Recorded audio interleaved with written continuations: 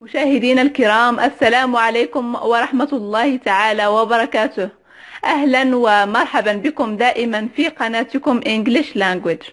ومرحبا بكم في هذا الفيديو الجديد الذي من خلاله سوف نتعرف على مجموعة كلمات التي تستعمل كثيرا في اللغة الإنجليزية وسوف نقوم بتركيبها في جملة. إذا سوف أبدأ هذه الكلمات على بركة الله. Brave brave brave description a brave description وصف مختصر brave مختصر description وصف brave description brave description bring bring يجلب أو يحضر يجلب أو يحضر Did you bring an umbrella with you? Did you bring an umbrella with you? هل أحضرت مظلة معك؟ إذا هنا نتحدث عن الماضي وفي السؤال نقول did you did you bring did you bring an umbrella أي مظلة with you معك with you معك brush brush فرشاة brush. I bought a new brush. I bought a new brush. اشتريت فرشاة جديدة. Buy هو الحاضر أي اشتريت. Bought إذا هي في simple past وهذا الفعل يعني هو فعل شاذ أي تغير جذريا وهذا الفيديو قلت سوف نقوم بتنزيله ولكن لمن أراد أن يشاهد هذا الفيديو فهو موجود في القناة في الفيديوهات الأولى التي قمنا بتنزيلها. توجد في فيها فيديو عن الأفعال الشاذة ولكن سنقوم بإعادته لأن قلنا هذه الدورة الصيفية. سوف نعيد جميع الدروس من البداية حتى الاحتراف إن شاء الله. لازلنا في الدورة الصيفية.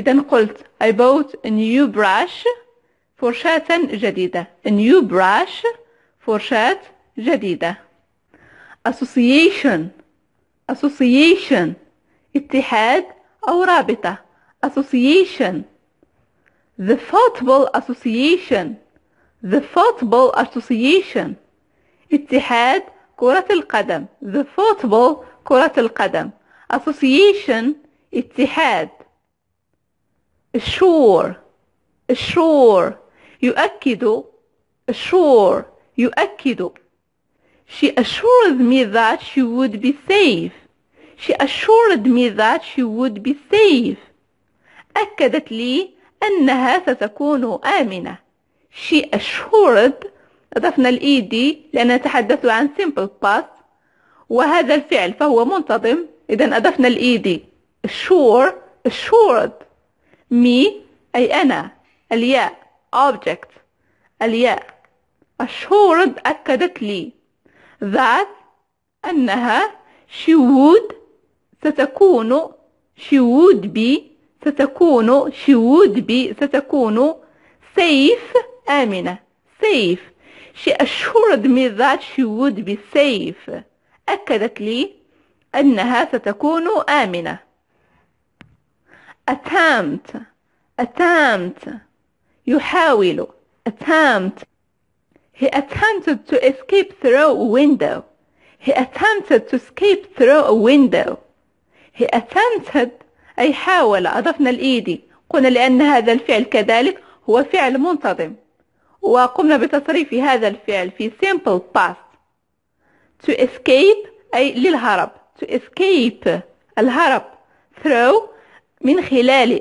through a window النافذة he attempted to escape through a window هو حاول الهرب من خلال النافذة budget budget ميزانية budget the film has a million dollar budget the film has a million dollar budget الفيلم لديه ميزانية مليون دولار the film الفيلم has هنا فعل have قمنا بتصريفه في it لأننا نتحدث عن الفيلم نقول I have you have he has she has it has إذا has أي لديه a million dollar أي مليون دولار budget أي ميزانية ask ask يسأل أو يطلب ask I asked him about his hobbies I asked him about his hobbies.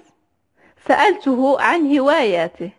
I asked كذلك أضفنا ال ed لأن هذا الفعل منتظم لأن نتحدث عن simple past. ولمن فاته هذا الفيديو سوف يجده في يعني القناة في الدورة الصيفية كيفية تصريف simple past. إذا I asked him about his hobbies. I asked him سألته about عن his hobbies. هوايته his hobbies sleep sleep نائم asleep the children are asleep the children are asleep نقول child طفل children أطفال الأطفال نائمون هنا قمنا بتصريف الفعل are يعني في simple present نتحدث عن فعل to be كان يكون إذا قمنا بتصريفه في are لأن نتحدث عن they the children أي مجموعة أطفال they the children. إذا هنا سوف نقول are لو قلنا the child the child لنقول is. إذا هنا مجموعة أطفال أي نتحدث عن الجمع. The children are asleep الأطفال نائمون. The children are asleep.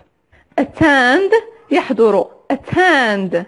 he attended the meeting he attended the meeting هو حضر الاجتماع كذلك أضفنا ed للفعل يتحدث عن simple past he attended a meeting a meeting هو الاجتماع حضر الاجتماع arrest اعتقال arrest اعتقال you are under arrest you are under arrest you are under arrest أنت رهن الاعتقال you are under arrest under أي تحت وهنا رهن you are هنا قمنا بتصريف الفعل في يعني فعل to be في كذلك simple present you are under arrest الاعتقال أنت رهن الاعتقال blood blood blood دم blood the blood in your veins the blood in your veins الدم في عروقك the blood الدم in your veins veins هي العروق your veins عروقك هنا نتحدث عن possessive determiners your veins أي عروقك أنت إذا هذا الدرس كذلك موجود في قمنا بتنزيله في القناة نتحدث عن possessive determiners possessive pronouns possessive pronouns blow يهب blow the wind blow hard the wind blew hard هبت الرياح بشدة إذا blow كذلك فعل شاذ irregular verb إذا قامنا بتغيير الأو إلى إي blow blow the wind الرياح blow hard أي هبت بشدة hard بشدة make make يصنع shall I make some coffee shall I make some coffee هل أصنع قهوة shall I إذا shall نستعملها دائما مع I ووي إذا هنا اقتراح shall I make أصنع some coffee قهوة have have يملك have يملك I have a cat I have a cat إذا أنا لدي قطة I have a cat a cat I have a cat go go يذهب go let's go for a walk let's go for a walk هيا نذهب لنتمشى let's go for a walk let's أي اقتراح let's هيا go نذهب for a walk لنتمشى for a walk go say يقول say how do you say this word how do you say this word كيف تقول هذه الكلمة how كيف do you say تقول this word كلمة how do you say this word